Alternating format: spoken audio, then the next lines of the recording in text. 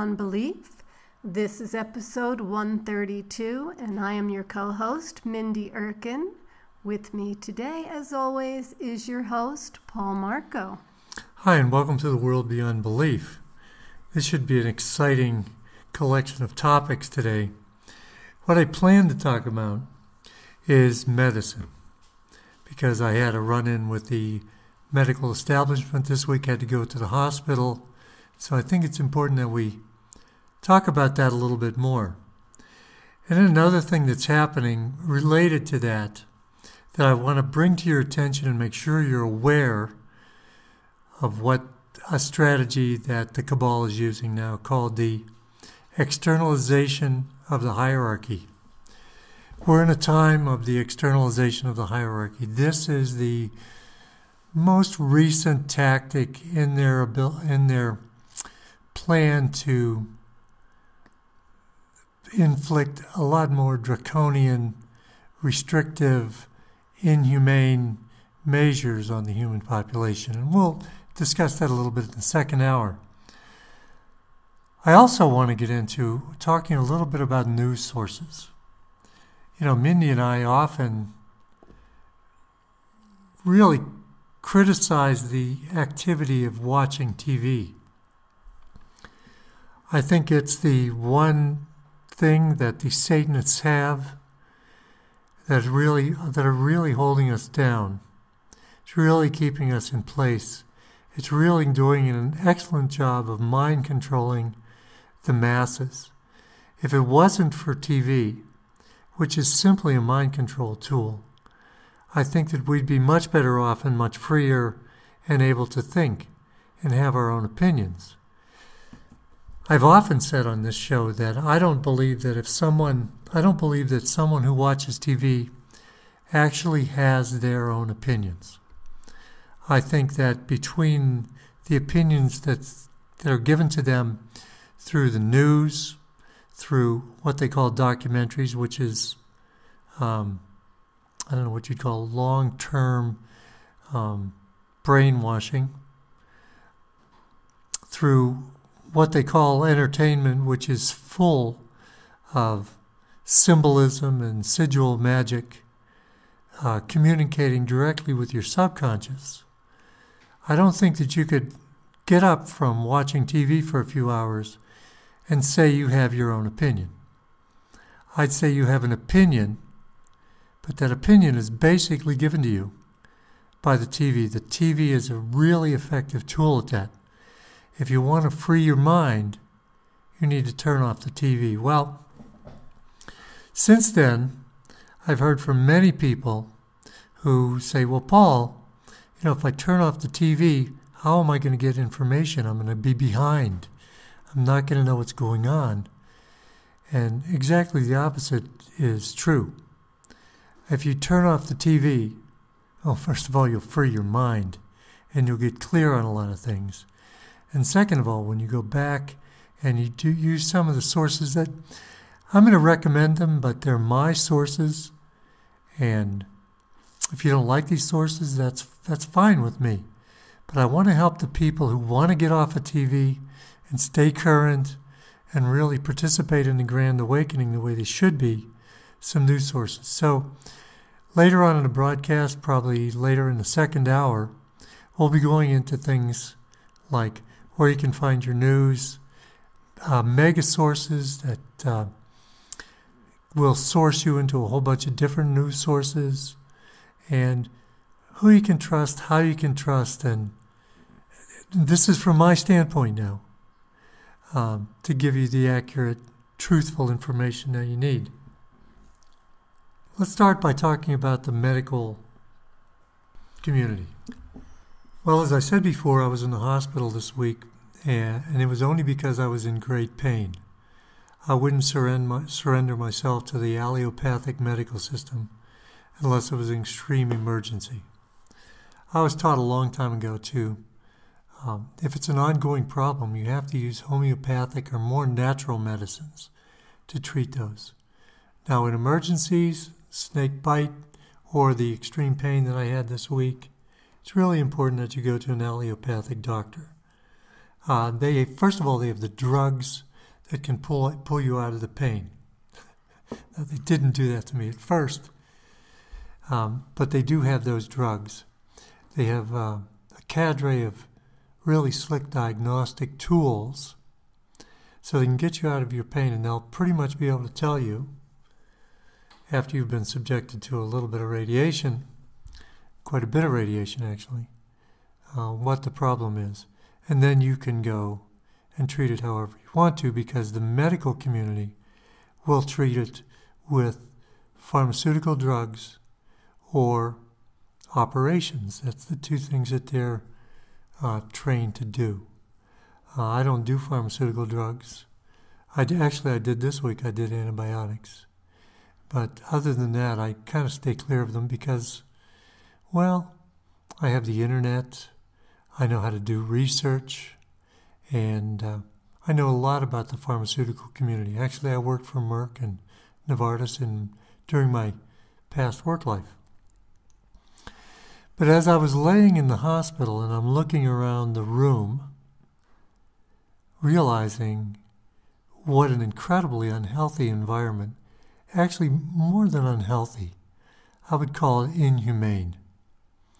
This isn't an environment where I would expect someone to get healthy, feel like they want to hang on to life. It was a square room, um, painted kind of a kind of a pale yellow. Uh, there was a piece of artwork. Uh, I'm in South America, so the artwork ne- necessarily was a iconic.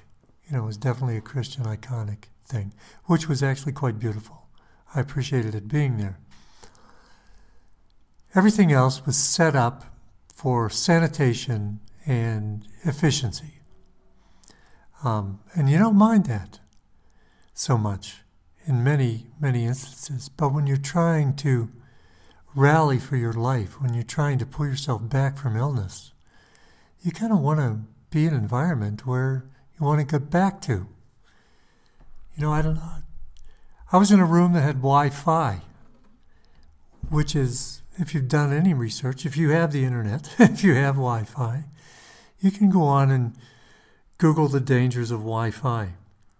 If you want to find more information, do DuckDuckGo Wi Fi, and you'll find the dangers of Wi Fi there. It's not a healthy environment to be in. It was uh, it was very strange. Of course, then it has there's a big TV on the side of the wall. Now I didn't turn it on, so I didn't get that vibration. I couldn't stand that vibration. I cannot even. I can't. I can't take being the vibration of TV. Right. And what about the fluorescent lighting? That's disturbing in itself. And the fact that they leave it on all night long so that you're you don't even get a good night's rest because you're under fluorescent lights. Right. And then, of course, there's the people that come in. Now, I know personally many nurses that are fantastically wonderful people. Many of them have gotten into that profession because of service to others, because they want to help others. But for some reason in this hospital, it was all about efficiency. They'd rush from one thing to another, um, not stopping to say hello or or visit with you. They they did they seem to do their best to make you feel like uh, you're a car in there for an oil change, or you're going to get your transmission redone. You're a human being, and there's been many studies done that if you know what's going on with you, and you're cared for well in the company of people who care about your well being, you're going to get healthy much faster. But we're probably working, I don't know this for sure, but we're probably working with a model.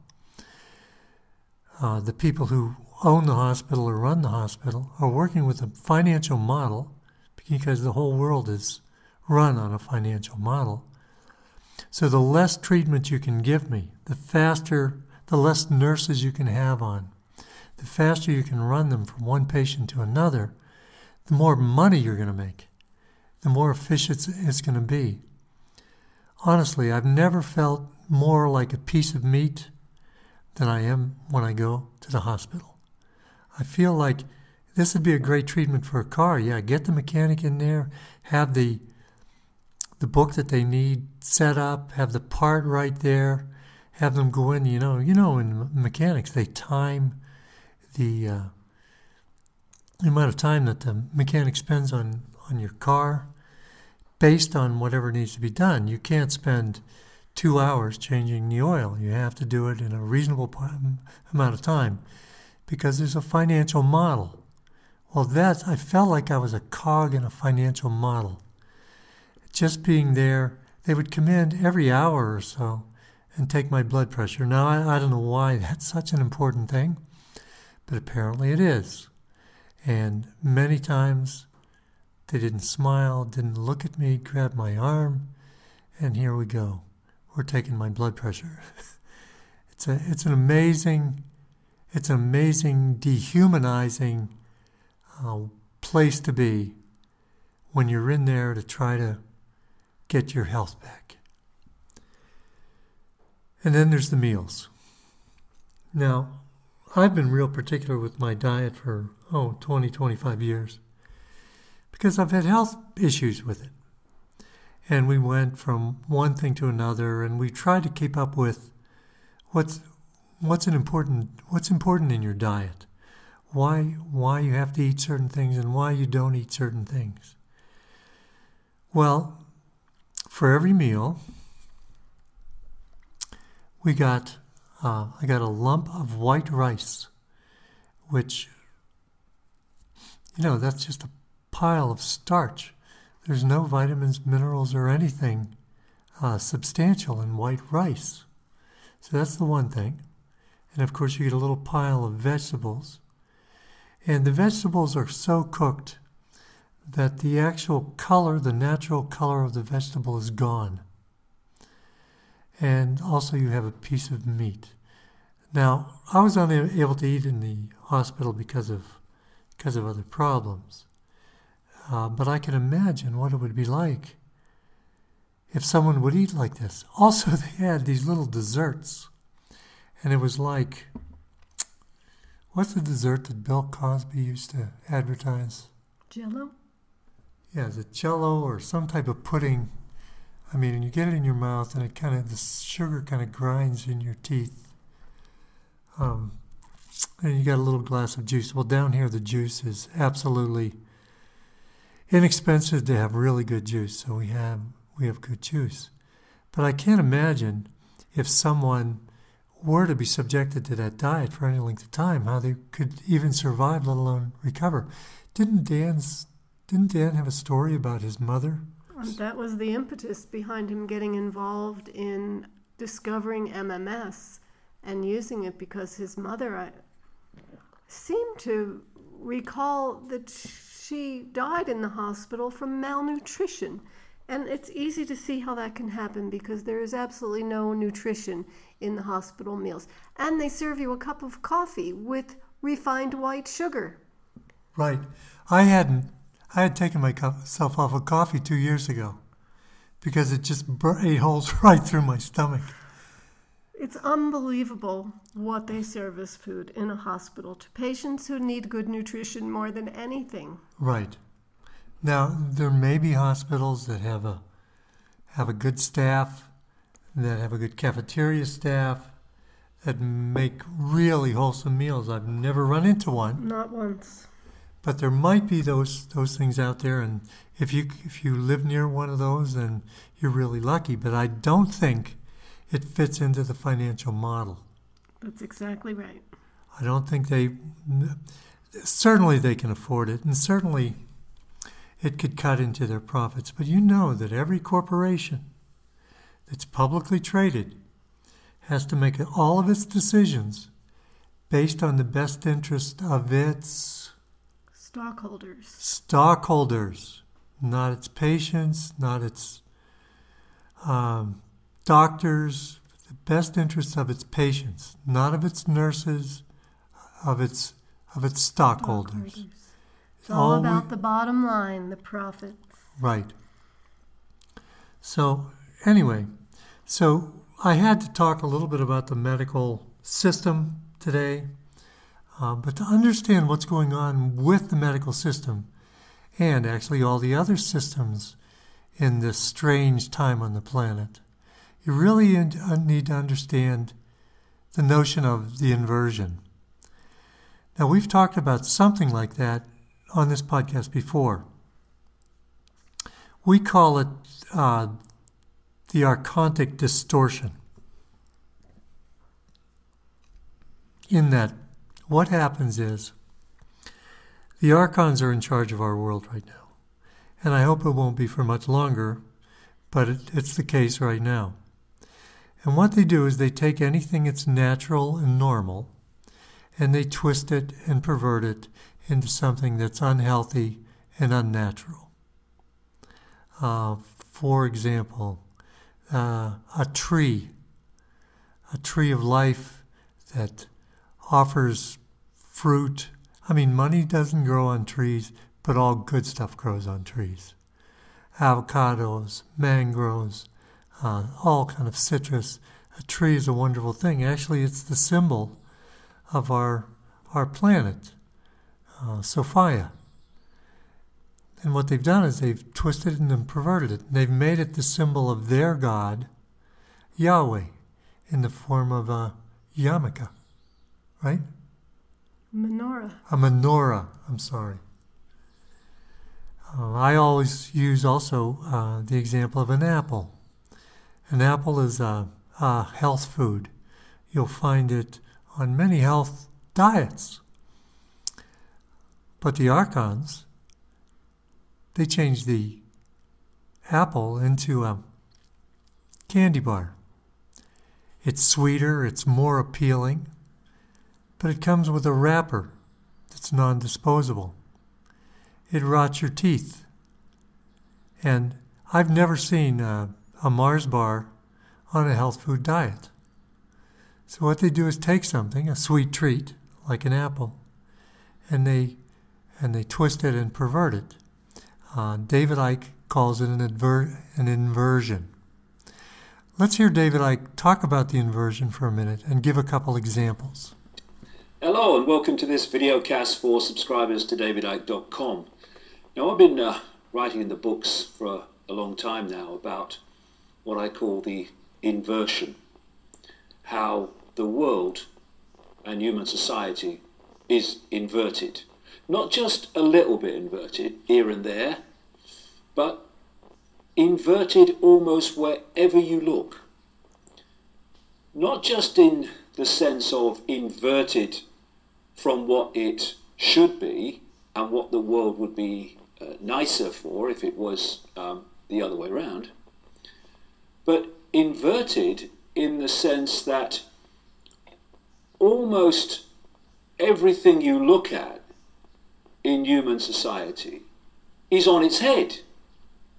And I had a couple of um, stories on the website this week, which, if you put them together and put it together with lots of other stuff I'm going to talk about, then the fact that the world is not only inverted but systematically inverted through cold calculation for reasons of human control becomes perfectly bloody obvious. One of them was about sunglasses. Sunglasses? What's that got to do with it? Well, actually, quite a lot, um, because it is a gateway into a lot of inversion. It was being pointed out um, in one of the stories that wearing sunglasses in anything like um, you know, regular uh, use is not good for health. Why? Because we are receiving information, energy from the sun all the time.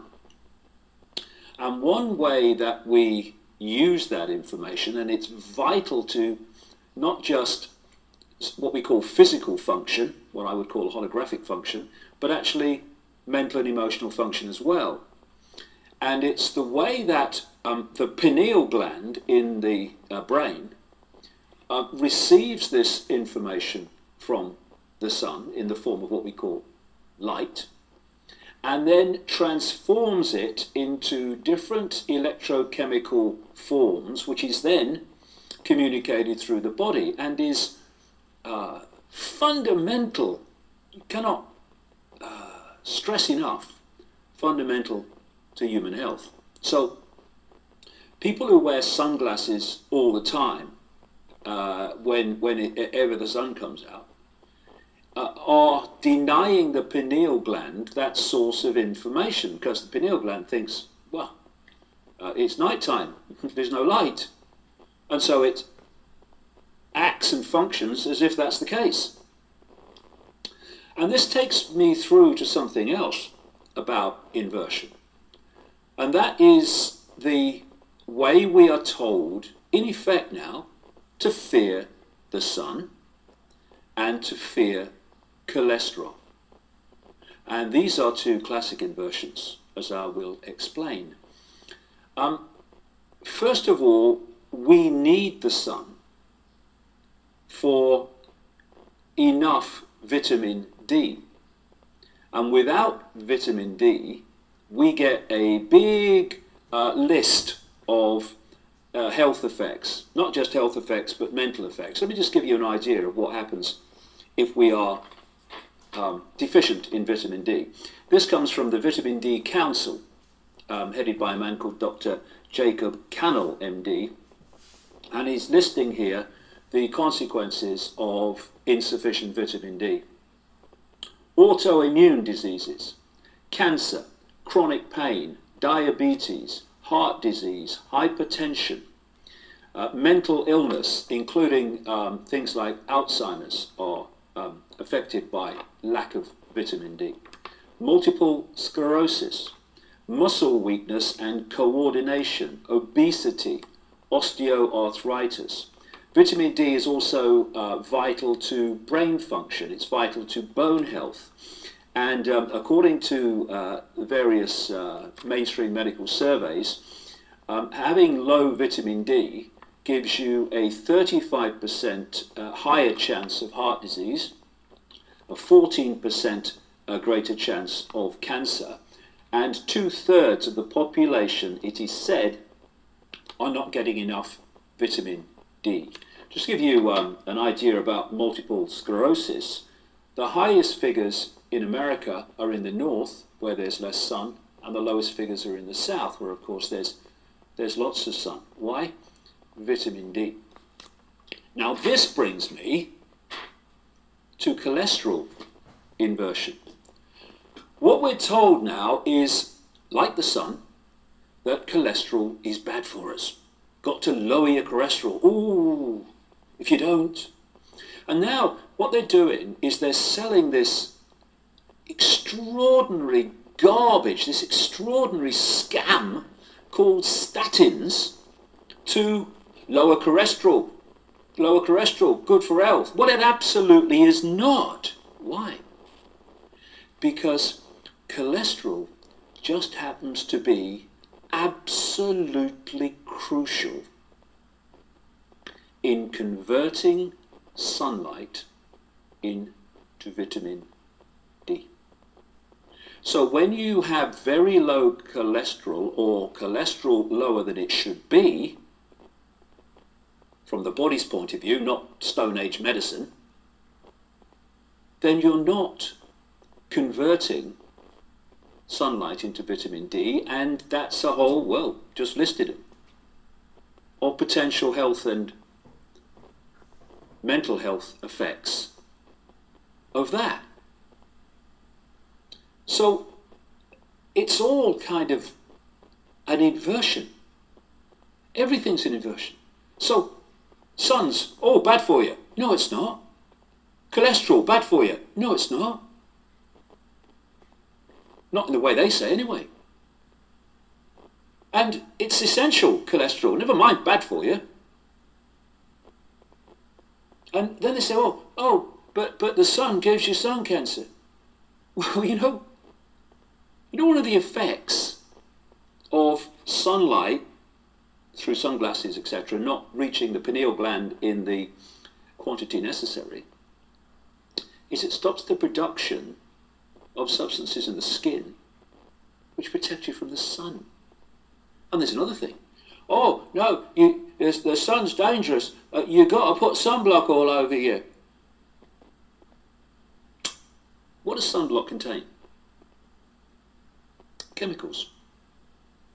And do you think that the explosion in the use of sunblock and sun chemicals in uh, in terms of protecting the the body, the skin from the sun, as they said.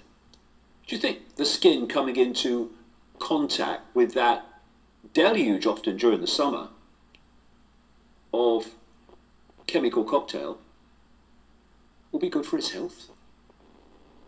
And what we're going to find, and it's it's it's inevitable as well, the sun coming up, is that a great deal of skin cancer is actually being caused by A, the chemicals in the sunblock, inversion, and the fact that the lack of information being decoded from the sun by the pineal gland is lowering the sun's, uh, or, or sorry, the skin's natural defenses to the negative side of too much sun.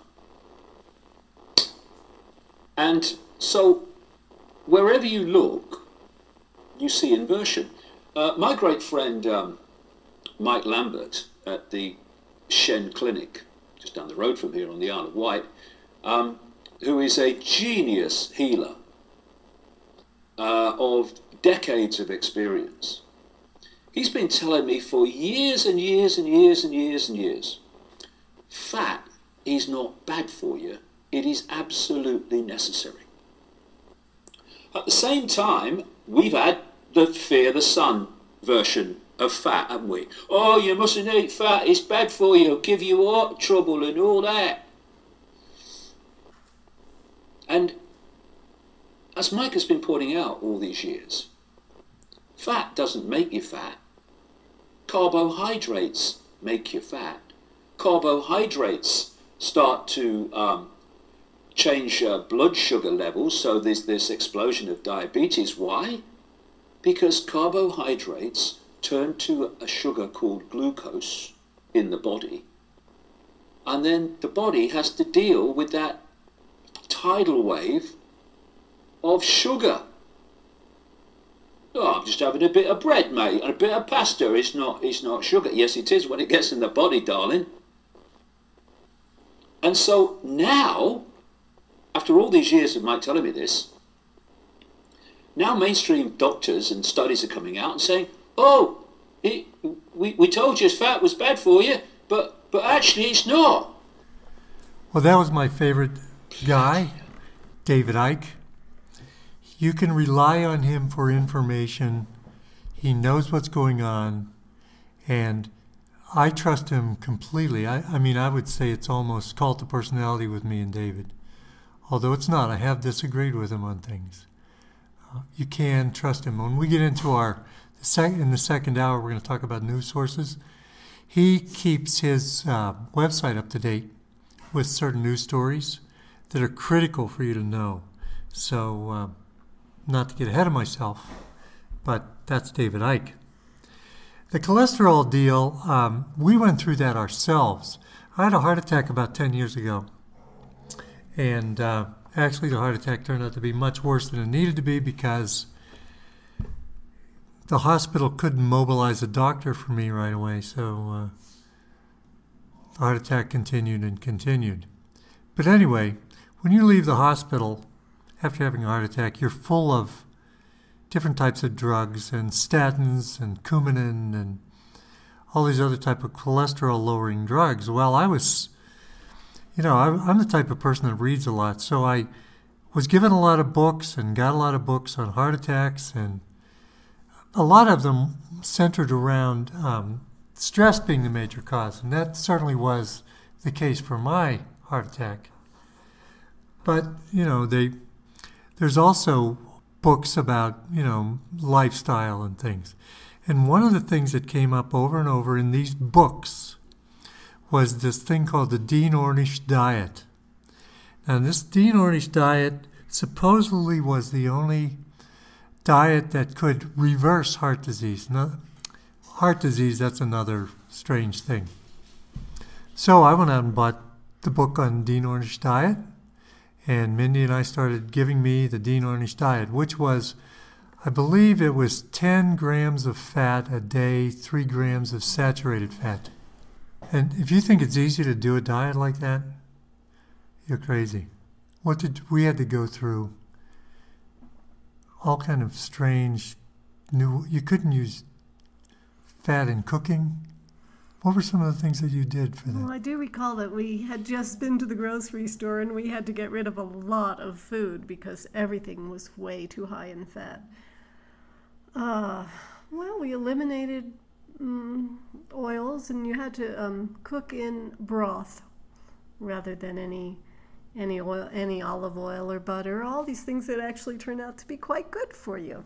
What about applesauce? You used applesauce. Oh yes, I substituted applesauce in recipes, and well, we substituted all kinds of things. We switched over to stevia and eliminated all sugar.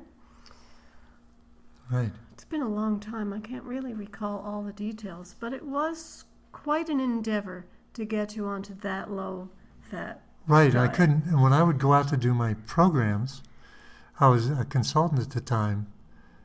I had to take a can of beans. I remember because everything else had fat in it. Of course, I couldn't eat in any cafeteria or anything because Right, One and that's bite. hard enough. We were vegetarians at the time, which made it easy to switch to that diet. That was a vegetarian diet. Mm-hmm. But it's hard enough when you're on the road to eat a good diet if you're a vegetarian to begin with, let alone a next to no fat diet. Right. So as the, as the time passed, studies started showing things that were not on my diet were actually good f- for your heart, like avocados.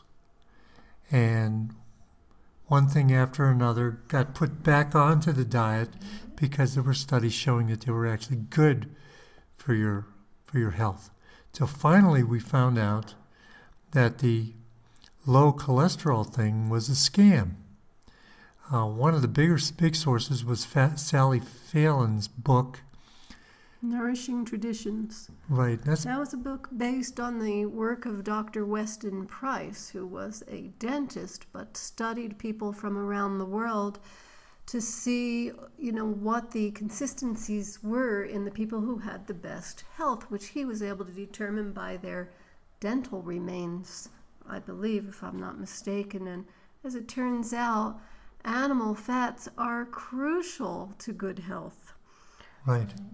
And one um, factoid supports that argument is that in 1921 they had the first heart attack in the United States. And Sally Fallon went back and found out what they ate before 1921, and fun to find out it's a high fat diet. And then not too long ago, I came across a statistic. Now, this is not a study, because all the studies regarding cholesterol and health are going to be done by the drug companies. And even if they're done by uh, an agency like the FDA, the FDA has no laboratories able, able to do competent studies. So they have to be done out in the out in the field. So we found out that between 2000 and 2009, 75% of all the heart attacks took place in people that measured with low cholesterol. Since then, I'm sure there's been a million studies done by the manufacturers of statins and, and other drugs that show that cholesterol is really bad for you. But you know, once you get a product and a profit center around cholesterol, you're not going to let that go. Well, you can't let it go because you're obligated to your stockholders to do what's in their best interest. So to do studies that that show your product is effective and show show that your product does something that's in the best interest of your stockholders. I, satanic as hell, isn't it? I know it's satanic as hell, and people wouldn't do that, but they do do that. They're financially driven, and that's what it's all about. So anyway, I was glad that, that David Icke mentioned the cholesterol scam. Uh, we've been off of that, and uh, I'm actually on the paleo diet now. And I've been healthier than I've ever been, more active, except for this severe pain I had this week. Uh, doing really well. I also want to throw in here while I'm on medicine, I want to talk about the vaccine agenda. Now, if you can think of a of an endeavor as basically evil as the medical medicine endeavor, and I, and I don't even call it healthcare anymore because that's an oxymoron. It has nothing to do with health. It has nothing to do with care. It has everything to do with getting you ill because they don't make a profit if you're healthy and eventually getting you dead, which is where, you know, the satanic agenda wants to get you. Now, I've heard over and over again this week about the vaccine agenda, the measles vaccine uh, with, Disney, and and who was giving free vaccines that we heard about. Oh, if you get a Happy Meal, you get a free vaccine, measles vaccine. Listen, these Satanist bastards, they love to kill and their favorite method of killing is poison. And so, if they give you a vaccine, it may not poison you this week or next week or next year, but you're going to have ill effects. Actually, what's happening is I noticed that this morning I was reading that the media on the mump was it the mumps vaccine. Two of the people vaccinated with the mumps vaccine immediately got the mumps. The vaccine agenda is a satanic agenda. You want to stay away from that. If, if you want to take my advice, do your own research. You know, I don't care. But from what I've come up with, it's a satanic agenda and it wants your ill health. Why else? Think about this. I really want you to think about this. Why else would they mandate a vaccine? Why else would they mandate a vaccine? Look, if there's five people and there's an Ebola outbreak out, coming out, and they've got an effective Ebola vaccine, why would they mandate it?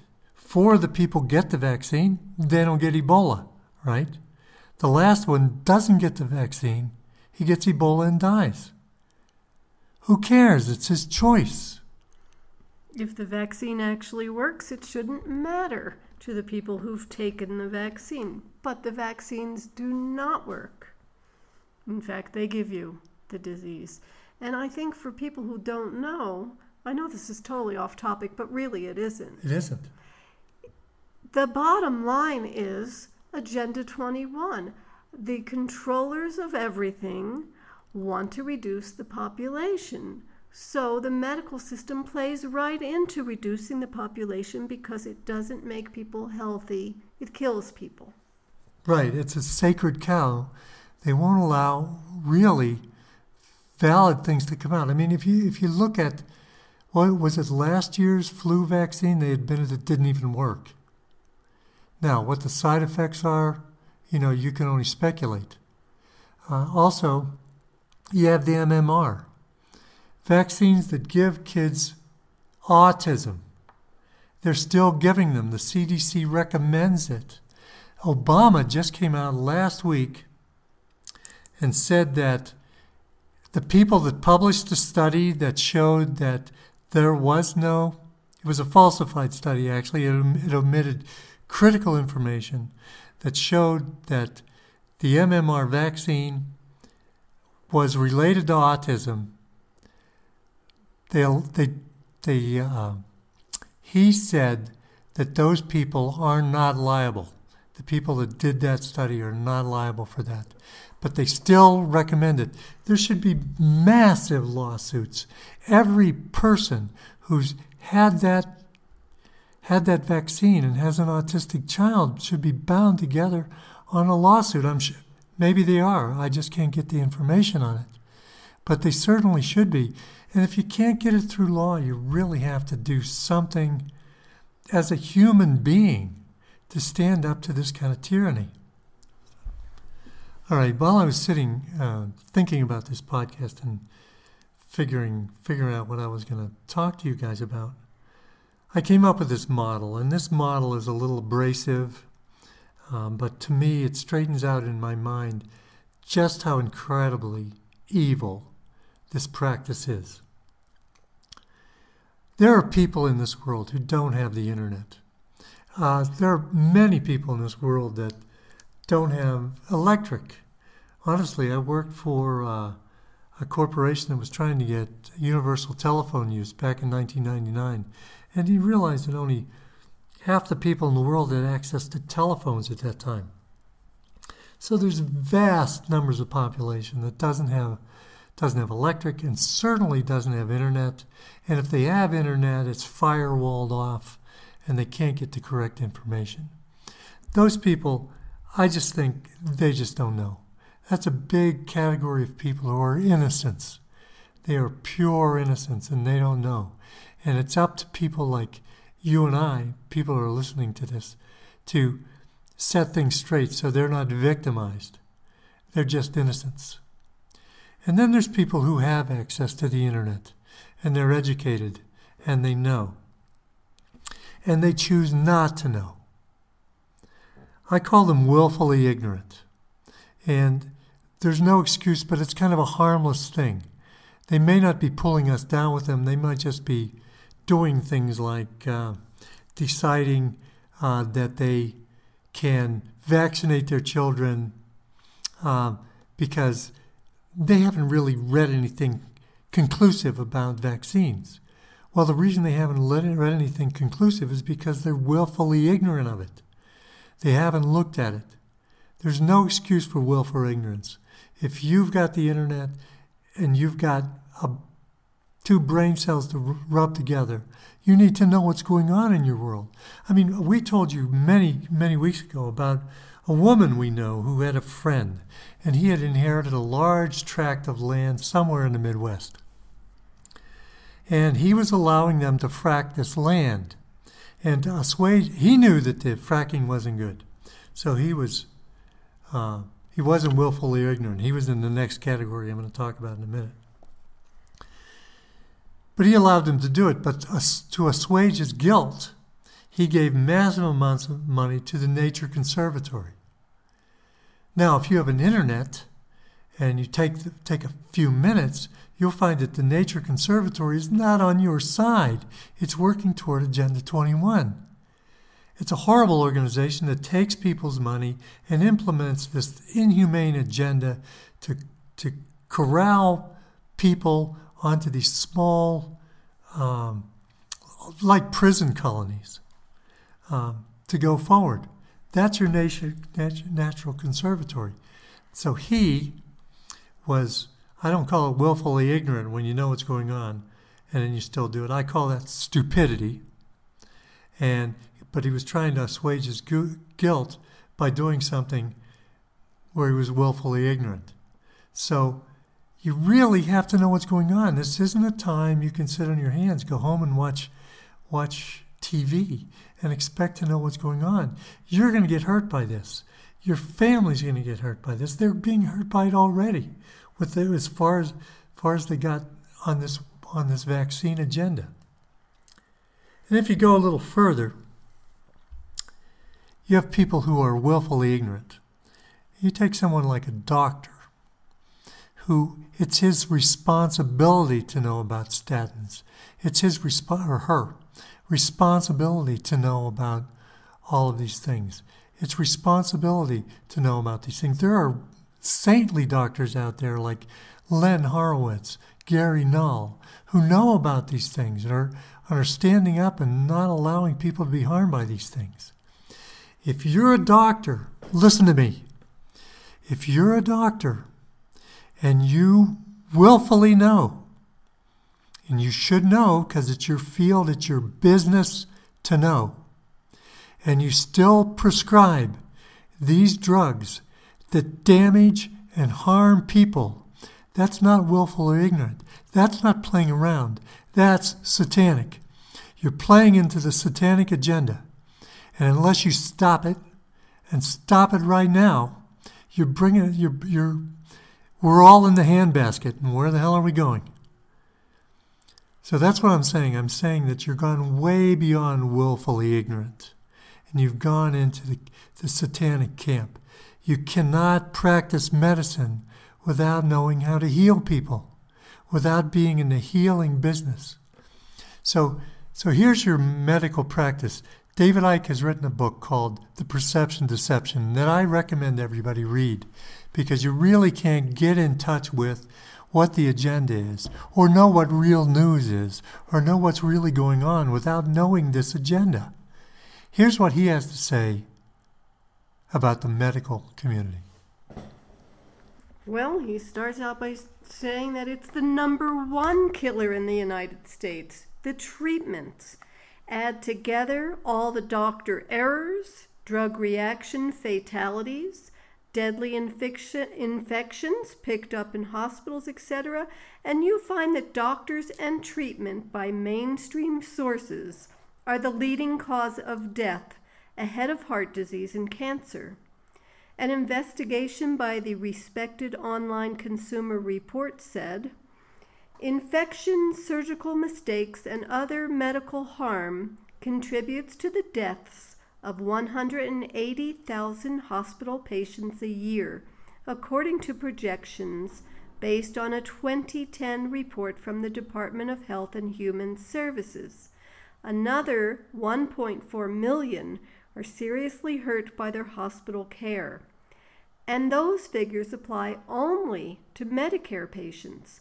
What happens to other people is less clear because most hospital errors go unreported and hospitals report on only a fraction of things that can go wrong. There is an epidemic of healthcare harm, says Rosemary Gibson, a patient safety advocate and author. More than 2.25 million Americans will probably die from medical harm in this decade, she says. That's like wiping out the entire populations of North Dakota, Rhode Island, and Vermont it's a man made disaster. Hospitals haven't given safety the attention it deserves, says Peter Pronovost, MD, Senior Vice President for Patient Safety and Quality at Johns Hopkins Medicine in Baltimore. Nor has the government, he says. Medical harm is probably one of the three leading causes of death in the U.S but the government doesn't adequately track it, as does deaths from automobiles, plane crashes, and cancer. It's appalling. So it's no secret now, doctors. It's no secret now what's going on. It's no secret the results of your practice is, is becoming well known. Now, now, I also want to say, as a little disqualifier, that many doctors are really good at diagnosing, uh, even though they have to use, of course, radiating uh, instruments to diagnose. They're really good at diagnosing and they can really pinpoint problems. But then they turn around and they don't use the best the best practices in terms of what actually heals people. They've just about done away with homeopathy. They've done, done away with naturopathy. They've done away with a lot of these things that actually cure people and make them able to go, to go on. Yeah, this week I was in a hospital and they had up to date equipment, and the doctor that I had was an excellent diagnostician. He certainly could use the internet and he certainly could research things, but he felt free in giving me uh, prescribing a statin even though we had talked about the cholesterol thing, and I'd let him in on some of the things that I knew about that. It's very difficult when you get an advanced degree to let go of the paradigms that make up that advanced degree. You know, we we were exposed to an interesting medical model when we were traveling in Brazil one year, uh, and actually it was 2010. And it was a very different type of model, and I wonder what results this model would have compared to the results that the American medical model have. Now, let, let me tell you the situation was. We were in a small village, and when I was in this village, there was what was like a, a, flu that was going around that caused you to lose bowel control and vomit. I mean, it was an intestinal virus. And we were staying with friends, which was put, put, put me in a really difficult situation, uh, messy situation, you could say. Actually, I'll tell you when this exact happened. This happened during the Fukushima disaster. So we went to the doctor that was only there in the evening, and we went to a little shabby little hospital. I'm not sure what kind of equipment it had. I, I would imagine not much. I would imagine an MMR wasn't there. I would imagine they had enough stuff to stitch you up and could probably get you to a bigger city hospital in an ambulance. But I waited for probably mm, a half hour in the waiting room, took my time, and then we went in to see the doctor.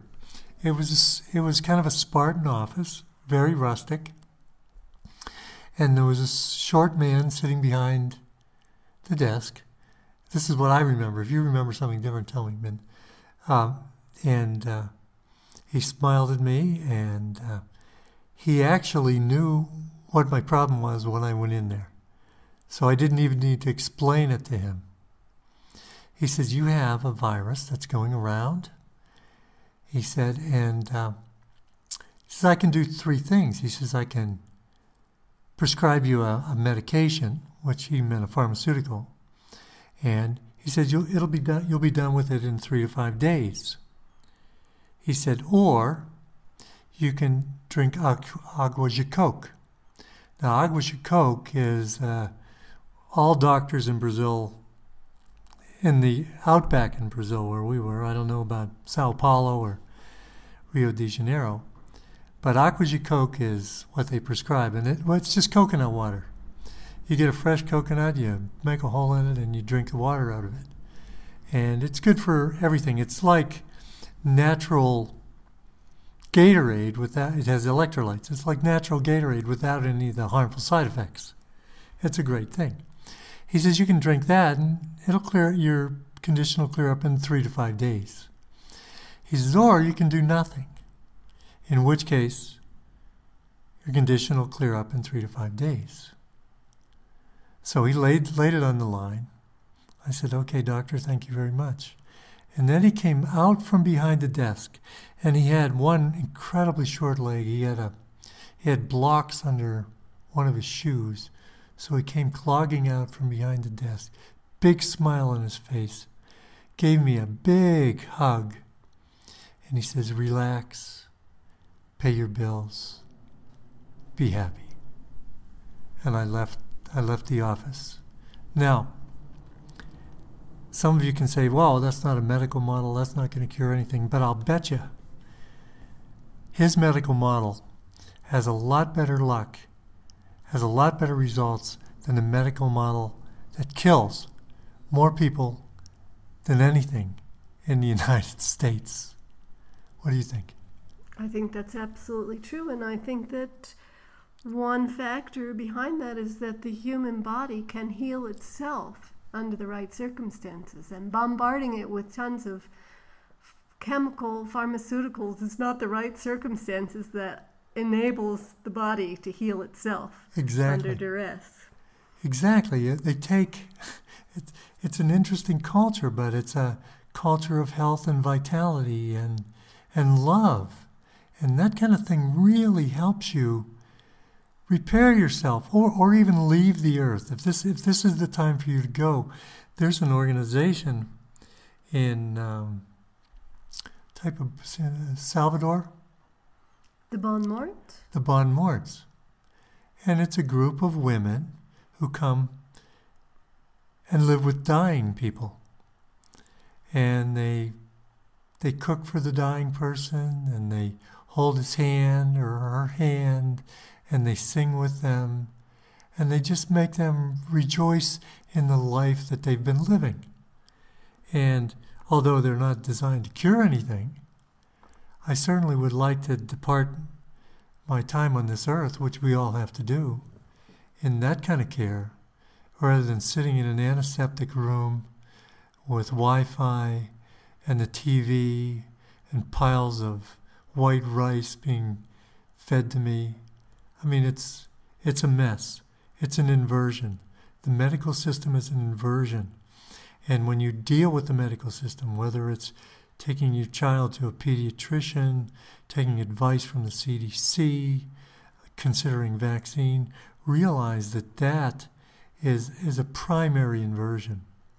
Hey, there's another inversion we're going to talk about in the second hour the pharmaceutical industry inversion. I mean, this is like kind of like the most satanic of the satanic part of the, the medical community. This is straight out killing for profit. But let's listen to some music. Let's listen to the Savages and a song called You Are My Chocolate.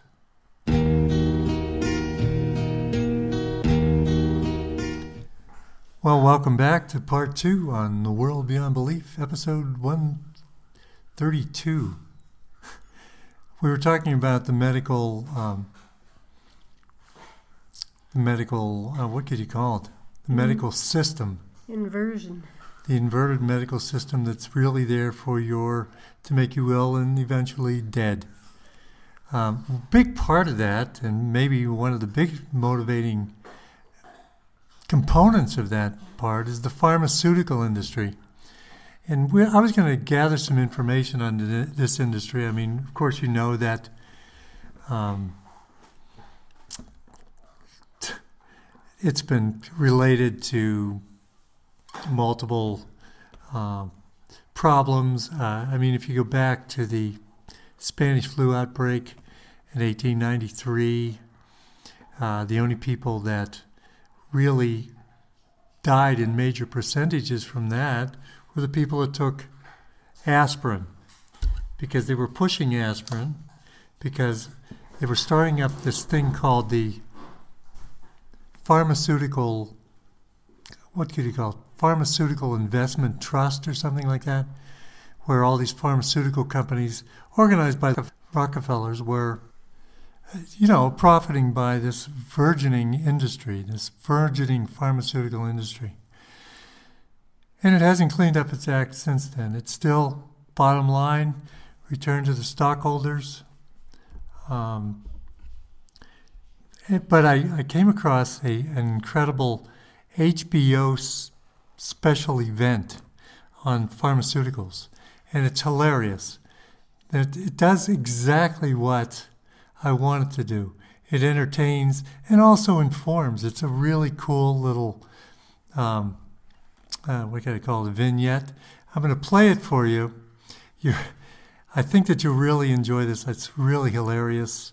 And it tells a lot about how the pharmaceutical industry relates to your doctor.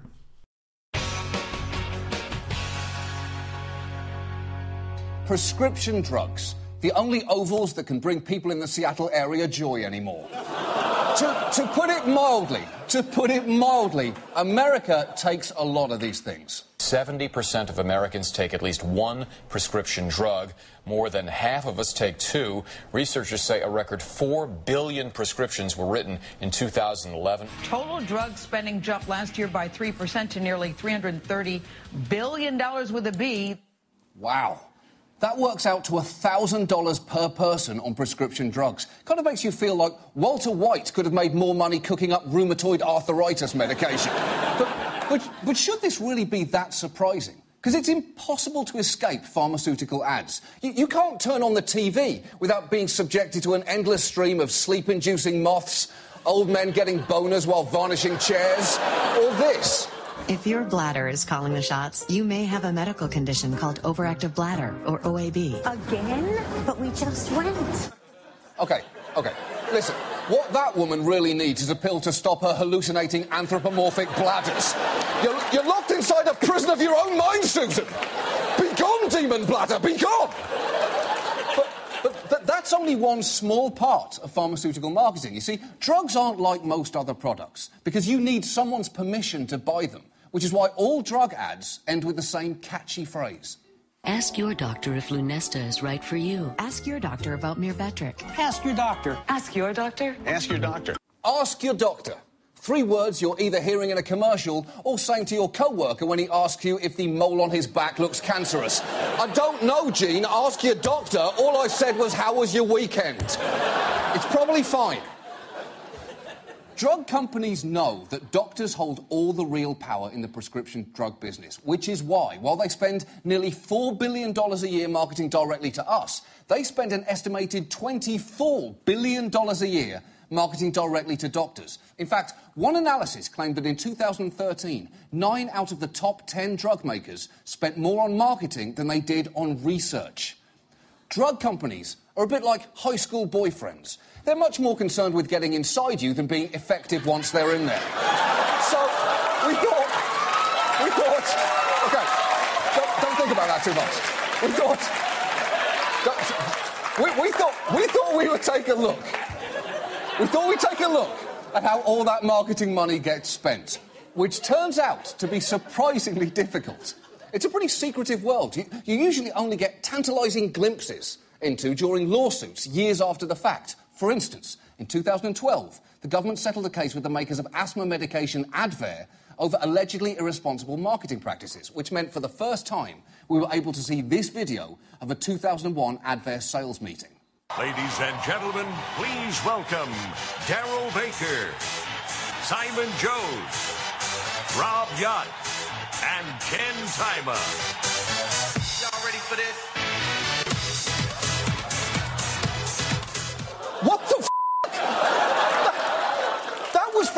Asthma medication, and they were treating it like an NBA pre-game show. Please welcome, he's 59, white, he likes turkey sandwiches, and his wife's name is Karen. Ladies and gentlemen, say hello to Daryl Boom Boom Baker!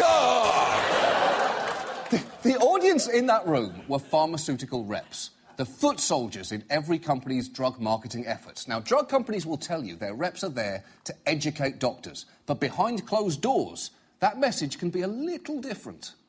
There are people in this room who are going to make an ungodly sum of money selling Advair. And you know who you are. Ungodly? That would barely be an appropriate tone if they were trying to get cereal into people's bodies, let alone drugs. Now, now you don't you don't need to see the people whooping in that room to know what they look like, because pharmaceutical sales reps are famously young, attractive people. In fact, this is so widely known, it's become a sitcom punchline for years. Today's the day the pharmaceutical reps show up to peddle their new drugs. And at Sacred Heart, that means one thing. Julie's here.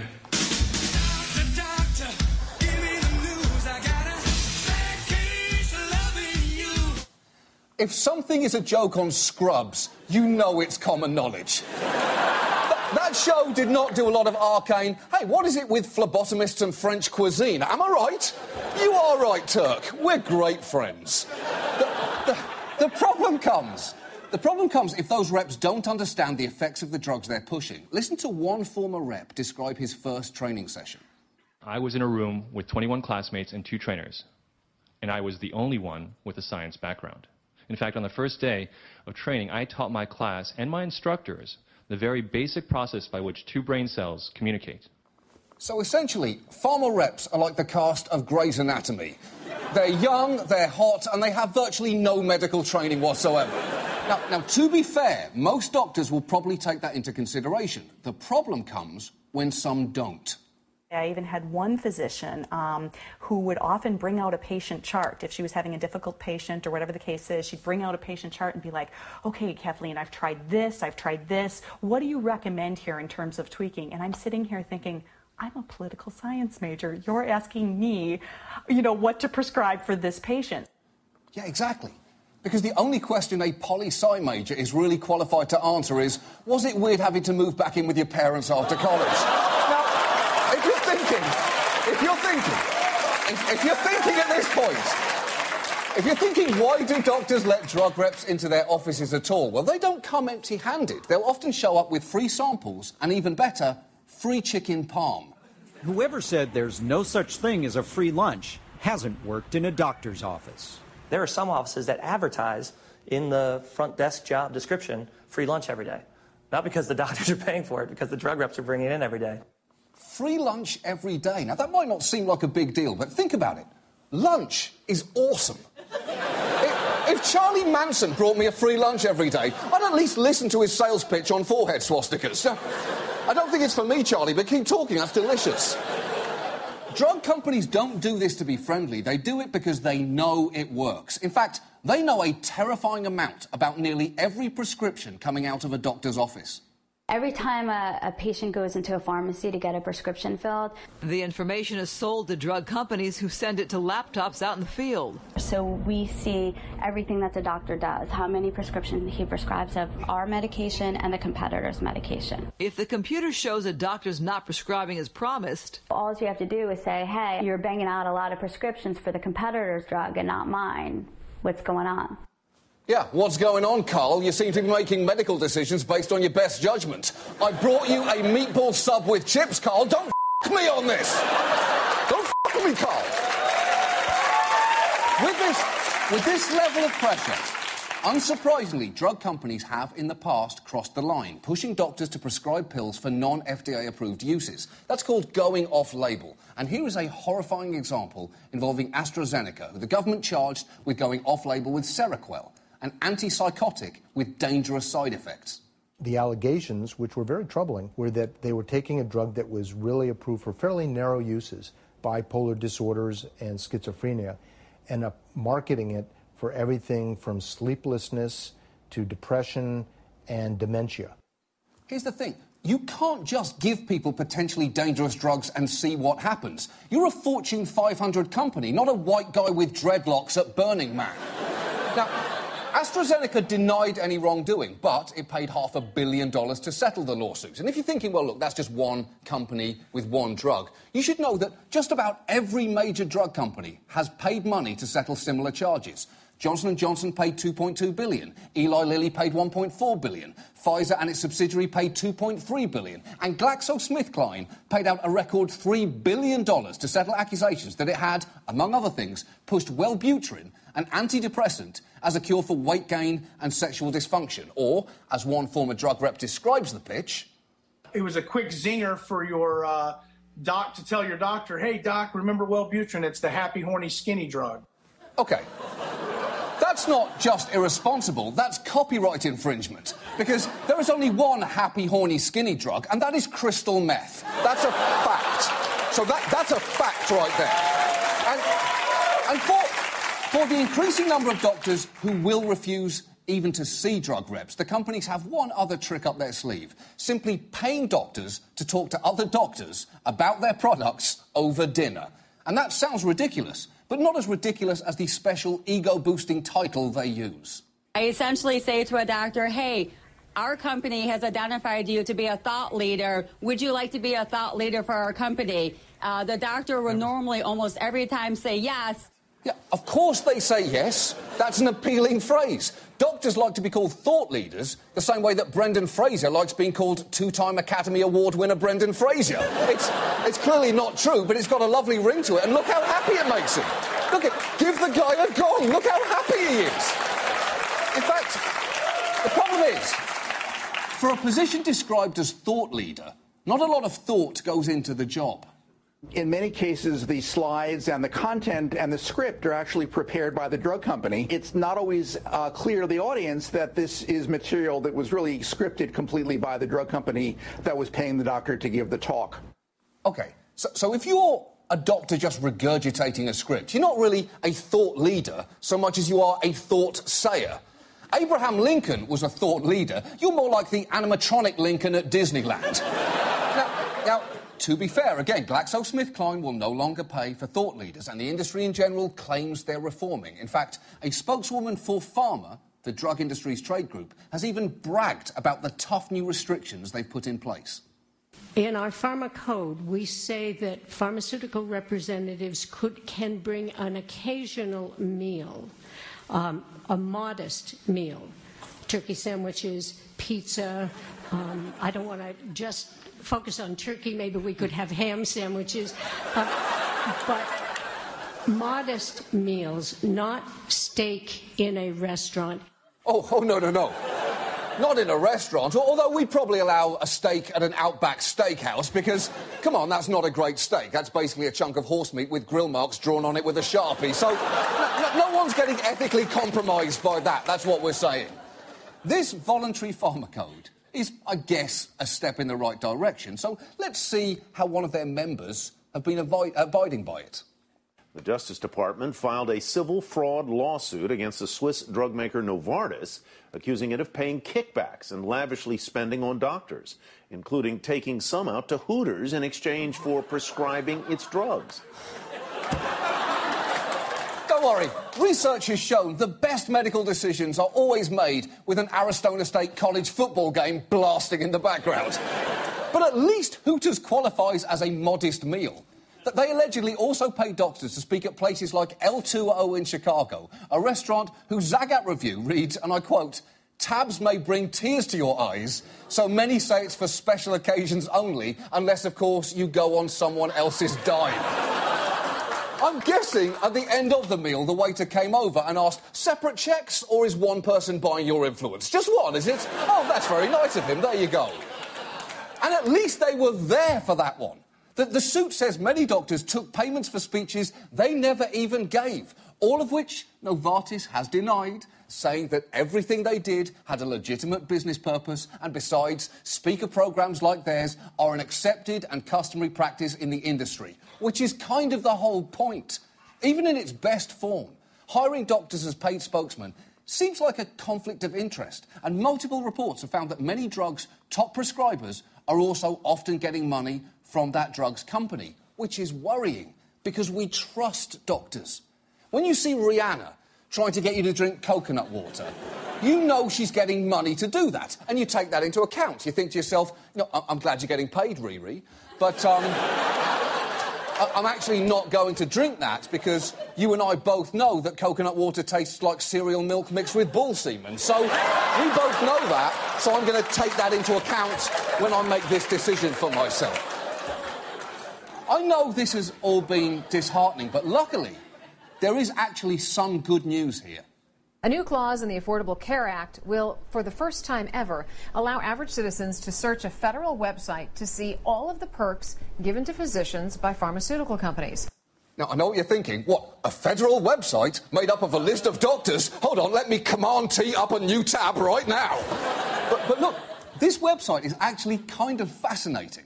The, the first batch of numbers are now online, covering the last five months of 2013, and you can, and absolutely should, go online and look up your doctor at this address and see what you find. Maybe you'll find your doctor did a, a little research for a drug company, which is probably fine.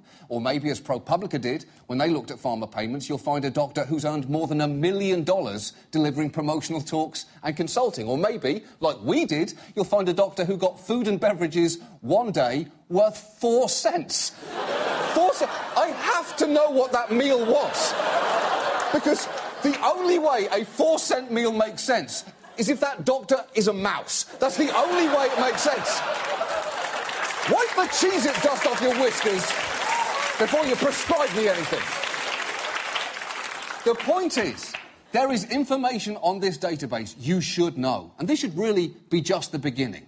If drug companies really want to regain our trust, maybe they should let us know the effect that their money has on doctors in the only way they know how. Have you noticed anything strange about your doctor? Does he seem happier than usual these days? Is he quick to prescribe drugs you think you might not need? You know what? One more, actually. Does his waiting room frequently feature surprisingly attractive, not sick looking people? Well, that may be because your doctor's been taking pharmaceutical money. Pharmaceutical money takes many forms, from free lunches to speaking fees. Here's how it works. Money combines with the cash receptors in your doctor's wallet to create fast-acting financial relief. So your doctor can rest easy and enjoy life. Common side effects of doctors taking money may include chronic overprescription, unusually heavy cash flow, dependency on free samples, inflammation of confidence, affluenza, and an increased tendency to suggest off-label prescriptions, which in turn can cause heart attack, stroke, loss of feeling in arms and legs, seizures, blurred vision, grinding of the teeth, temporary deafness, total blindness, numbness, sudden bursts of rage, reduction of trust, angry erections lasting over 17 hours, and death. Ask your doctor today if he's taking pharmaceutical company money. Then ask your doctor what the money is for. Ask your doctor if he's taken any money from the companies who make the drugs he just prescribed for you. Then ask yourself if you're satisfied with that answer. Pharmaceutical money. Ask your doctor if his taking it is right for you. I think that's incredibly hilarious, and I can listen to that over and over again because there's so much truth there. If you get to see it, it's I found it on YouTube, so uh, it's there. If you get to see it, show it to your doctor. I think you'll find it hilarious. I had experience with pharmaceutical reps myself, actually. One time when I was much younger, I don't know, 30 years ago, I ran into a bunch of girlfriends who were all exceptionally gorgeous. What were they? They were all pharmaceutical reps. Uh, I don't know what kind of perks they were giving out, but uh, they certainly were beautiful women. And there were men there too. By the way, there were men. I, I didn't mention them, but there were men. I think that this HBO special is also interesting because it highlights what's going on uh, with the public awakening and the satanic agenda. If you notice, uh, HBO is, you know, it's owned and controlled by the cabal. There's only five or six companies that control, control everything that goes on TV and in the media. So this information isn't secret information. It didn't leak out. I remember I sent this to a friend yesterday and he wrote back, he said, This guy's a lot of balls. And I wrote back and I said, Not really. He couldn't do anything unless it was sanctioned by the people that own and run HBO. And they're all in league with the pharmaceutical industry and they're all in league with the medical community. So it's all one, one block what this is a prime example of, and you're going to see a lot more of it in the next year or so. This is what the Satanists call the externalization of the hierarchy. Now, what this means is that the control system that has been hidden behind the veil, the, the hidden hand that's been controlling who gets elected president, the hidden hand that's been controlling what conflicts um, in the Middle East happen. The hidden hand behind who becomes a, uh, a movie star and who doesn't wants to come out in the open because the types of control that they're they want to institute now can't be done through puppets or proxies. They have to it has to be done straight out. In other words, we're going to know exactly what's happening. So the idea the idea of this video is to make you laugh at the absurdity of this situation.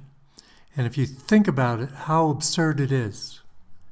How absurd it is that a doctor is bribed and paid to prescribe something that's not beneficial to the health of their patients to their patients. And the more they prescribe that, the more money they make, the more perks they, they get. I don't know whether they get sexual favors from these pharmaceutical reps or not. I have no idea. But that certainly would be an incentive for, for a lot of them. So that's, that's happening. They admit it. This is what's happening. Let's laugh at it. Let's go on. What they want you to do as they externalize all of the their type of control as they externalize the hierarchy. They want you to listen to it, laugh at it, and say, well, that's the way it is. There's not really much we can do about it. Yeah, that's the way it is. My God, you know, that's the way they are. And I just have to, I hope that my doctor is uh, a little bit more on my side. Well, they can't be. They're monitored by the uh, pharmaceutical companies. Everything that they prescribe, the pharmaceutical company that makes it knows that that doctor prescribed it. So they're they're monitored. They can't not prescribe it. If I was telling, you know, in the last hour, I was a little bit um, irate about doctors prescribing things that weren't in the best interest of their patients, and um, maybe they can't maybe if you want to continue in that fat cat profession, uh, you have to play the game and play their game. And unless you're somebody with a lot of guts like Len Horowitz, uh, and you stand up and make a stand up, there's a lot of doctors that do this. Listen, there's a lot of doctors in the United States. There are doctors with cancer cures that have stood up and, uh, like, what's his name? Tullius. Tullius. Julius Simonetti. Simonetti. He cures cancer in, in, in Europe. He can't get a, of course, he can't get his license back. To, he used to be a cancer doctor. Can't get his license back because because he cures one of the biggest profit items on their menu. So there are a lot of people standing up, and there's a lot of really honorable doctors. There are a lot of doctors, actually, who I wouldn't say it's the majority, I wouldn't say it's the majority by far, but there's a lot of people that went into that because they really wanted to help people, not because they wanted to please their parents or get a gorgeous wife because they make six figures plus. But that's called the externalization of the hierarchy. And we're going to see that happen with uh, probably vaccines. Actually, you have to be really uh, unaware of what's going on with vaccines to not see how blatantly obvious that is. It happens with the police state now. They don't mind pulling you over and drawing blood now in the United States. Every day there's new videos on YouTube of police beating the shit out of somebody or just killing them. Happens all the time.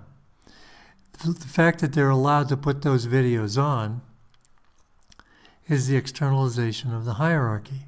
They want to show you what they're doing. Now, there's other videos, like I remember a couple weeks ago, actually, it's probably a couple months ago now, there was a video out called We Need to Talk About Sandy Hook.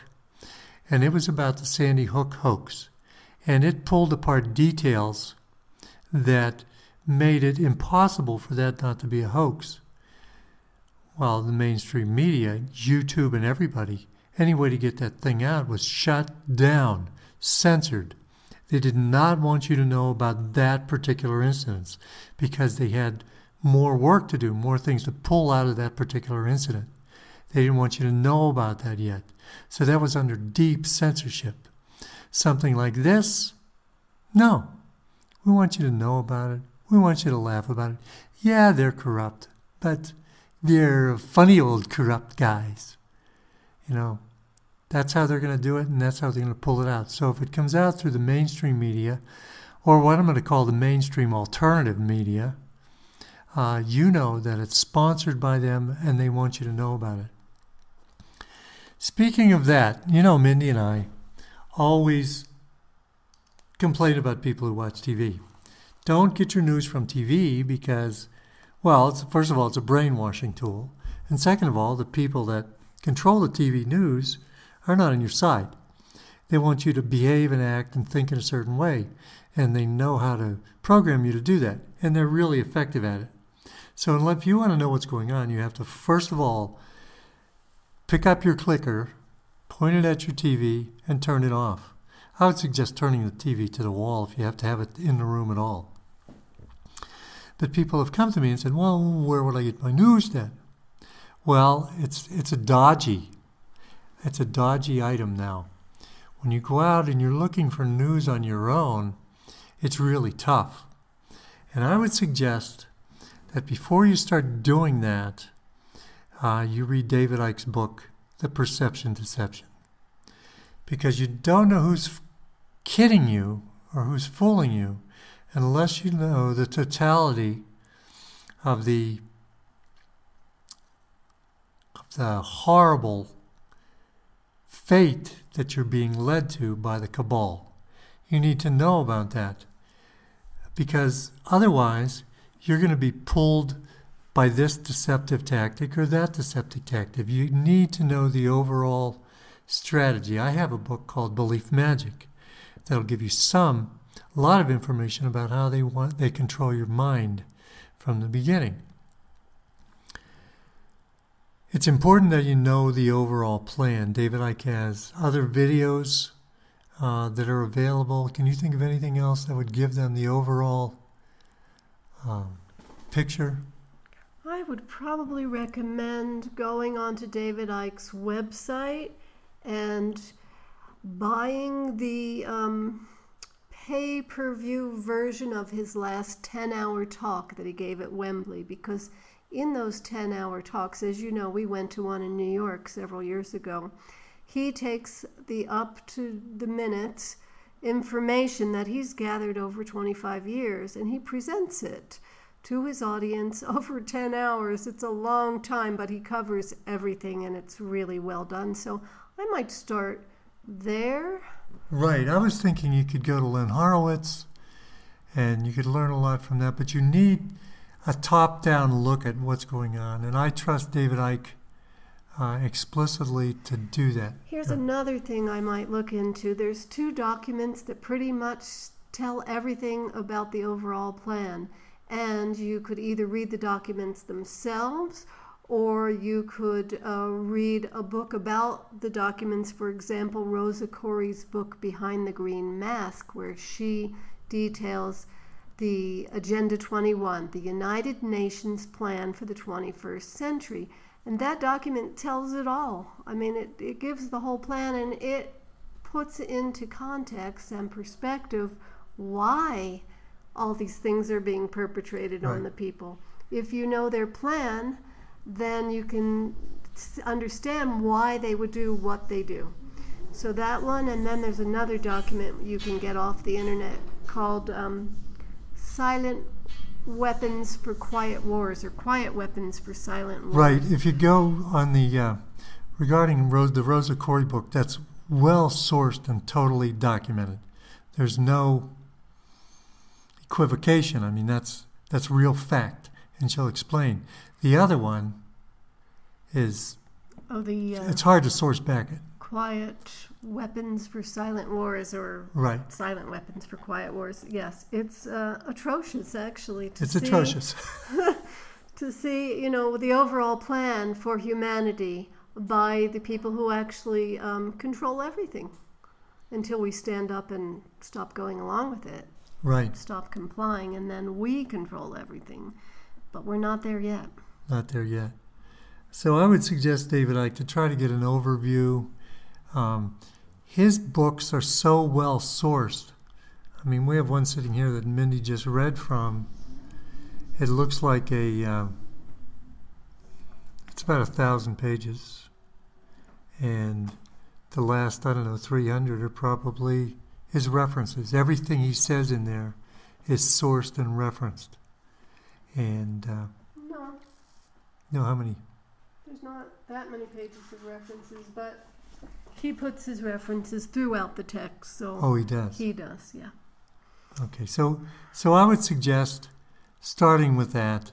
Turn off the TV and read David Icke's book, or watch his ten-hour uh, Wimple, Wim, Wembley presentations. Right, and here's what I would suggest for your TV: keep your TV, but disconnect it from the source where all the information comes from and hook it up to your computer. That way, you can watch YouTube documentaries, videos, exposes on your big television screen right. and sit back on your couch and enjoy some real information and stop being snowed under by what's being showed on your TV. All right, I'm gonna, let's go into some of the things that we watch. Now, I'm, I'm not saying that all these things are totally reliable on everything. But I'm, what I'm saying is this is where we would go, but of course we're informed because we know the overall the overall structure of the deception. Uh, first of all, I want to tell you that there's enormous amount of cabal energy going into the liberal media. Uh, for example, Salon.com gets massive amounts of money from George Soros so does Pacifica Radio and all of those liberal sources.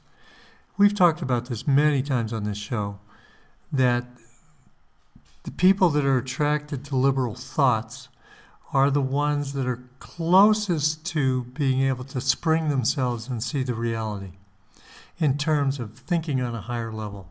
Certainly, there are people from all levels of consciousness maturity who are waking up. But I can see why the why the cabal would be dumping massive amounts of money into these these liberal media. So if you considered a liberal a liberal outlet, I think I would stop going there.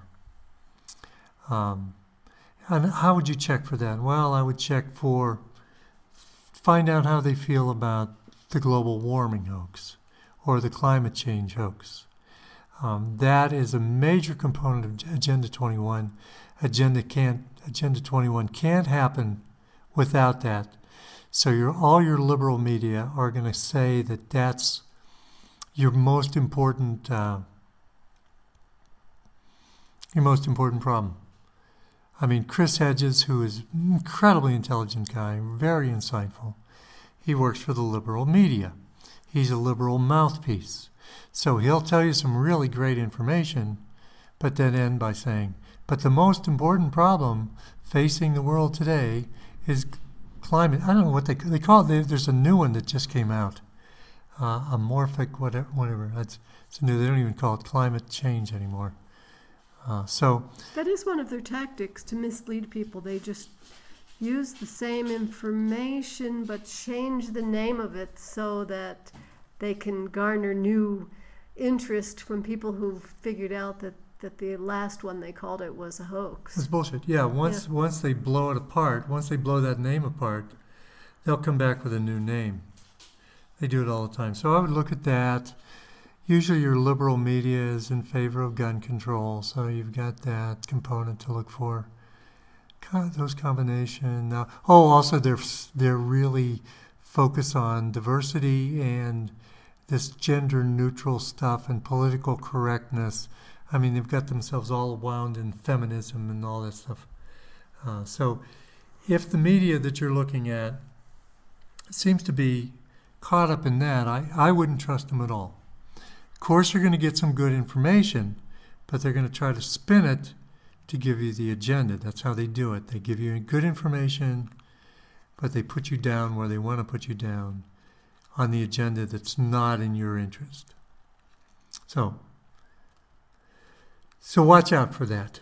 There's massive amounts of money now, and they're creating new alternative medias.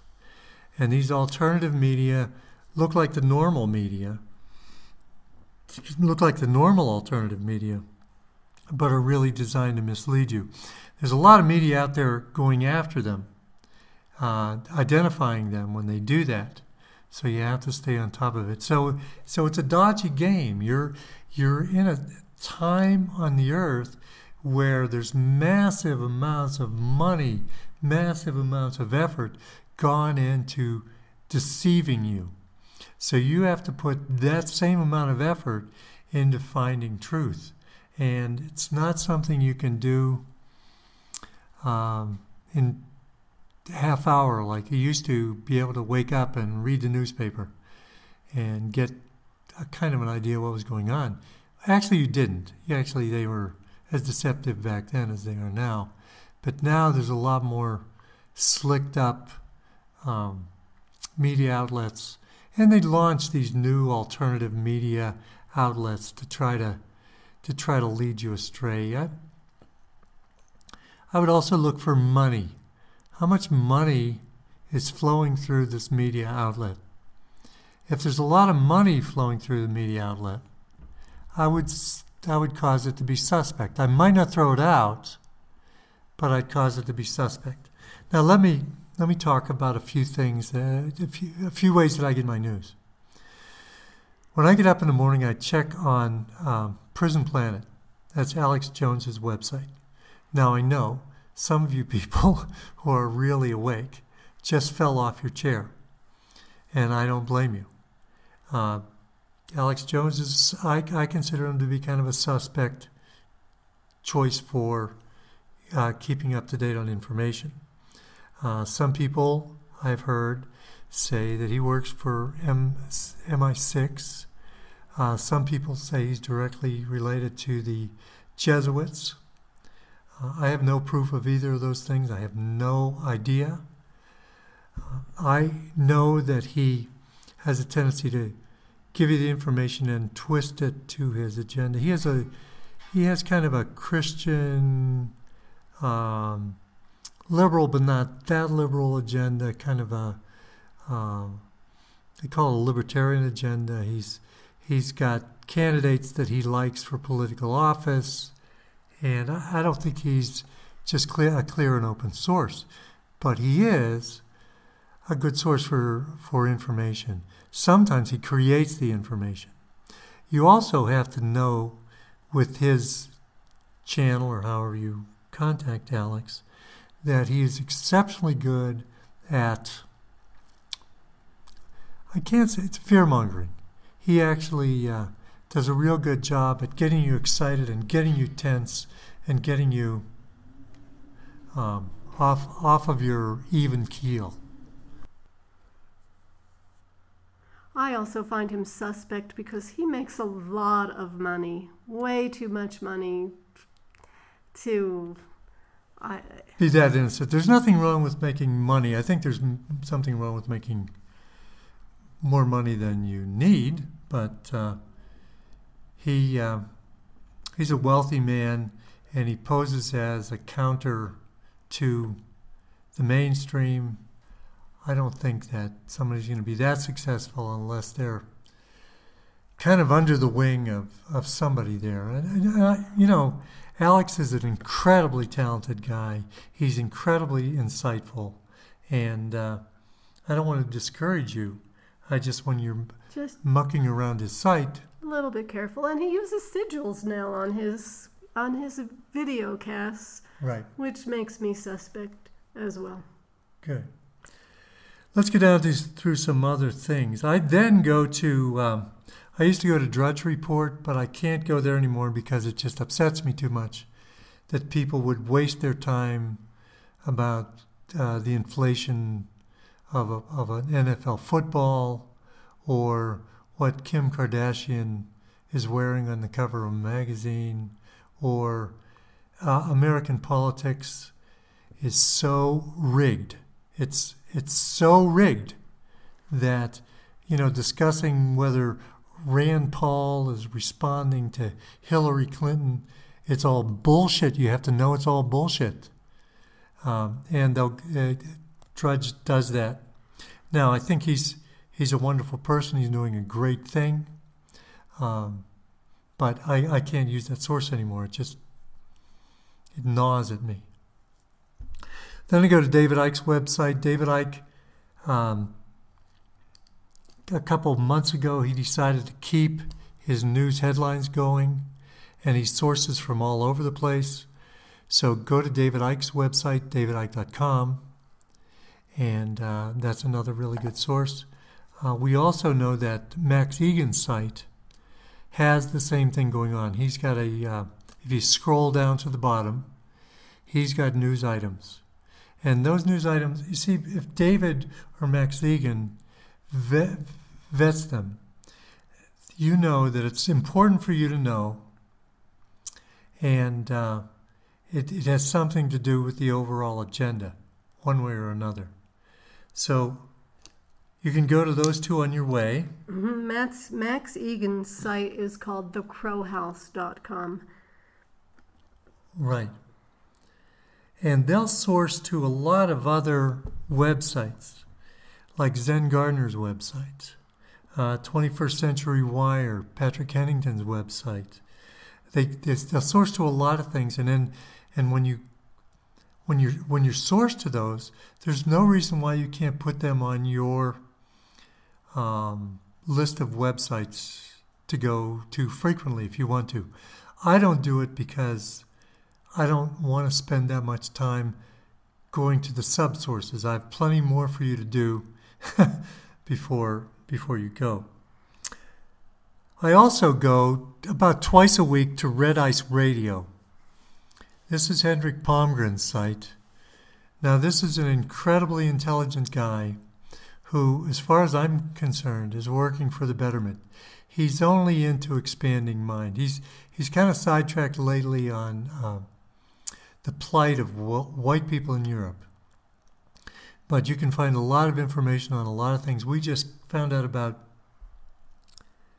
Karlstrom, what was his first name? Eric Karlstrom, who knows a lot about 9 11 and a lot about the New Age religions, which is another thing that's going to be coming out as we externalize the hierarchy. All of these religions are going to be wanting to blend into one, and that's part of the thing. That's part of the externalization.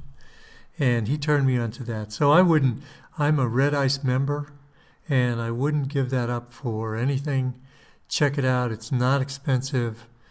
And uh, the man is he's the best interview I've ever heard. He's the best interviewer I've ever heard. What about you, man? I would agree. Right. I would agree. He asks very intelligent questions and he has no ego in it, so he doesn't take away from the people that he's interviewing. He really gives them a good platform to cover the material that they want to cover. Also, there's another um, site called Slingshot Radio, but when I turn you on to Slingshot Radio, it just sources a bunch of other sites. Some of them I trust, some of them I don't trust. So don't use that as your as your basis for for whether it's factual or not. Now, moving along quickly, I would make sure that on my YouTube channel, I had several. I would have these three heavyweight channels, and I would check them daily and put them on your favorites so that YouTube will load them in for you. There are new things every day. Luke Rudkowski's site called wearechange.org or wearechange.com. Org. Org. He's a fantastic reporter. He's he's um, he started off just gutsy interviews with high level people. He's famous for his Kissinger interviews, and now he's becoming an analyst. He's trying to birth more journalists like him that aren't afraid to get down and do journalism. And he's becoming a commentator too, and his comments are right on target. He's right in there and he knows what he's talking about. Uh, moving along, you need to know about James Corbett, uh, the Corbett Report. You need to you need to subscribe to his channel. Um, by the way, these two guys, if you can send them money, it's always really good. Luke's site, We Are Change, especially James Corbett. James Corbett is an independent guy in Japan, and he does in depth analysis that we've used on making our videos. And I really depend on him for the uh, type of the type of left brain analysis that I can't do for myself, because he really knows how to vet sources. He really knows how to get in there, and I pretty much I, I disagree with him on things. I disagree with most of these people on things, but they're my sources for news. I And- just want to say real quick that you know to to subscribe to these channels costs nothing. I mean, if you want to make donations to these people, that's fabulous because that helps them continue to their ongoing research. But you can go to any of these sites for free with no membership fee to get the information, especially from their their um, headlines, their news headlines. Right. Part of their sites. Oh, and most of them will have a, an email updates. So they're really easy to, to learn from. And then there's Dan Dicks, Press for Truth. Uh, that's another one. He's uh, right in there with uh, James Corbett and Luke Rudkowski. I'm just coming upon his research now. He's new for me, um, but he's he's advocated by Luke and James. Actually, they're doing Narcapulco in Mexico together and try to train more journalists to do Anarchapulco. and Acapulco. Thank you. You're welcome. Then there's my little private stock. This is my favorite source of news. Um, these guys are independent journalists uh, like you and I, and they work really hard to expose hoax and uncover truths. Uh, one of them is Jeff C. on Free Radio Revolution. Jeff C. on Free Radio Revolution. Now, he tells it like it is, so the language on his site might be a little spicy for some people. But I was raised in an environment where Um, you tell it like it is. And Jeff C. tells it like it is. And uh, his cohort in this uh, calls himself R- RPR, Red Pill Revolution. Now, he's taken down that website. He's put up uh, the Truth Media Revolution, I believe. But if you go to Jeff C.'s Free Radio Revolution, you'll see that he links up and is associated with several other websites. And actually, these people did. I, I've been out of touch since I've been in the hospital. Group, um, what you can call panel discussions with one another. Here's what they do they'll analyze a news story and uncover a hoax. And uh, they'll talk about it between several of these journalists. I consider them journalists of a much higher quality than anything you'll see on CNN or Fox News. These guys are true journalisms, eh, journalists, and they have they have a lot of guts. And they're not all guys. There are women involved with this group too. Um, they were the ones I don't know whether you about a month ago or at the turn of the year we were talking about their Hoaxopedia and uh, exposing who won the best crisis actor hoax and who was, you know, what was the best hoax of the last year. And they've made it into a real, a real fun thing to watch. But they've also made fun of the cabal. And the one thing that the cabal hates, hates, hates more than anything else is to be made fun of. Uh, so they're really after these guys. They shut down their websites all the time. Uh, they pursue them all the time, but they just keep coming out with more and more truth. Now, what's interesting about them right now is they're, they're, the bunch of them have been analyzed the, the, the crash of this Asian airliner. And when it first came out, they were calling it a hoax, except I don't think Jeff C. was. I think Jeff C. was holding back. Now, they're getting new information, better footage, and they're saying, no, it's not a hoax. That we were wrong before. Some of them are, some of them aren't. We were wrong before. And if you look at this and look at this, this couldn't possibly be staged. You don't know how wonderful that sounds to me. When someone's awakening you're going to be wrong. You're going to be wrong part of the time because you're going into the fringe. You're looking into things that other people don't know about. The awakening is about being wrong.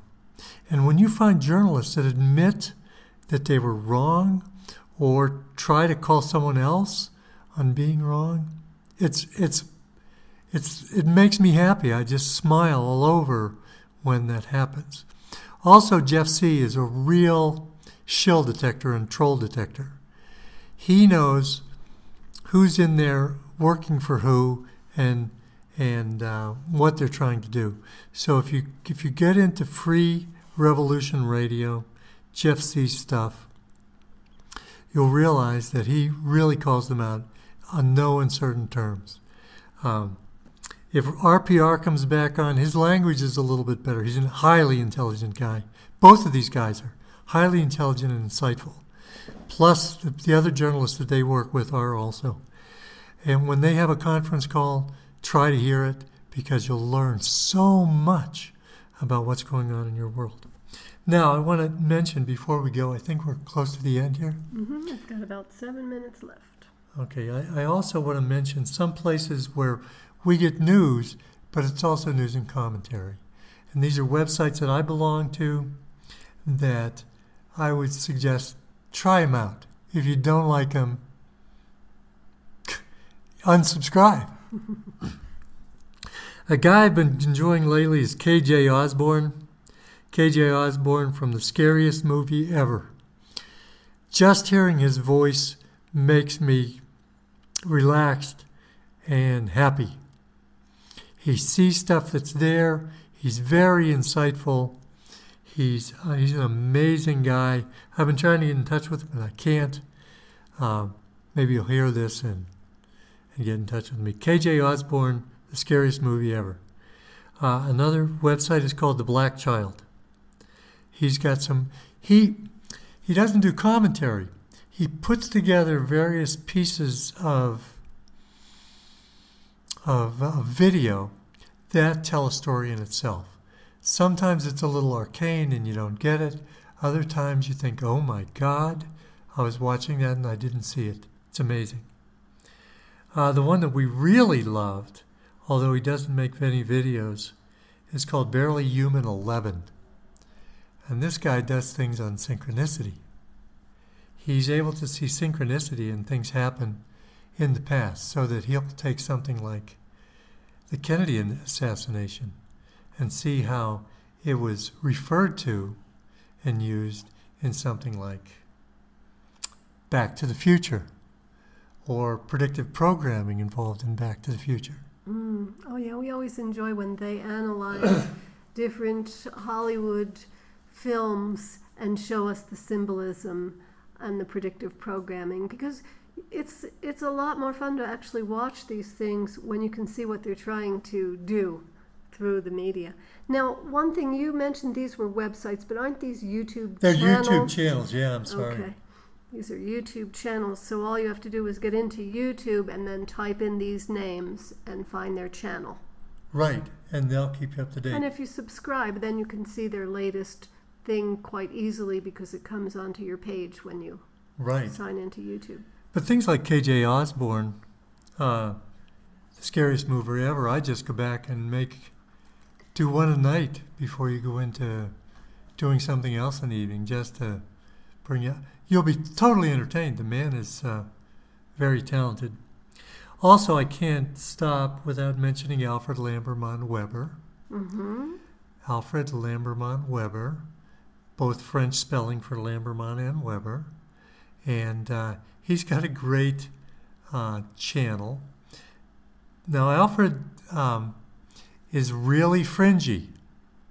He interviews the most fascinating guests, and they will fall into the realm of things that are hard for you to believe if you're new to this. Right. But we always find most of them quite fascinating.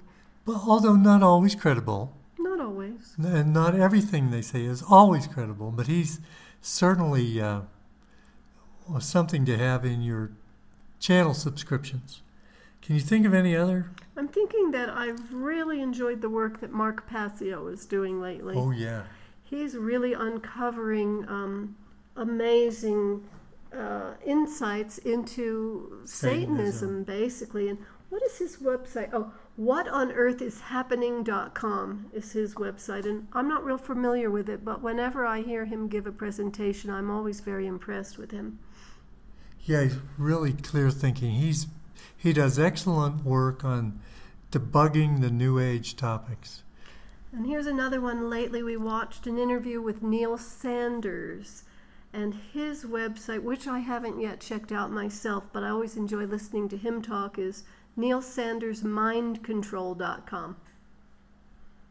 Yeah, Neil Sanders is really up to date on on on the mind control topic and how it plays out in your everyday life. Right. In fact, he covers some of the material you covered in your book, Belief Magic. I haven't read the book, but I think I'm going to look for it. Your thoughts are not your own. And this is pretty much the area that you covered in Belief Magic. Right. With Neil, he has a little bit of a I don't know, I guess it's a Scottish accent and he talks quickly. So you have to pick up your feet and just go with him. Maybe you have to listen to the interview twice, but he's uh, fantastic. And then, of course, we like Thomas Sheridan Oh, yes, very at much. thomassheridanarts.com. He's a great. You're not going to get news from him, but you'll get analysis from him that's unparalleled. Um, so that's all I can think of. If you, um, We're pretty much out of time, so that's good timing. Is there anything else you want to add? no, that's it, Mindy. All right, Thank you for listening. Thanks for tuning Thank in. Thank you for tuning in to the world beyond belief. We're so pleased that you're coming along with us for this ride into insanity. God knows, yeah. so we'll be back again next week, and uh, look for us on YouTube too. We, um, in addition to the world beyond belief, we have a blog. It's called PineConeUtopia.yolasite.com. And we have a, a YouTube channel, Pinecone Utopia. Oh, subscribe to that. YouTube. So if you subscribe, you can get all of our latest videos because we we make videos uh, well, monthly, one or two. What was the new month. one? The new one is called the Control Matrix. Oh gosh, we changed the title. We changed the title because it used to be Swan Song for the Control Matrix, but nobody clicks. No one wants to know about song swans. So we it, it's something like. Pix. Oh, dear. We'll get back to you on this one. we'll go to our channel. It'll be the last be the one that we one, yeah. uploaded. And you can see it. It's a beautiful film. So please check that out as well. And stay well, be happy, stay safe, and uh, we'll catch Bye-bye. you next week.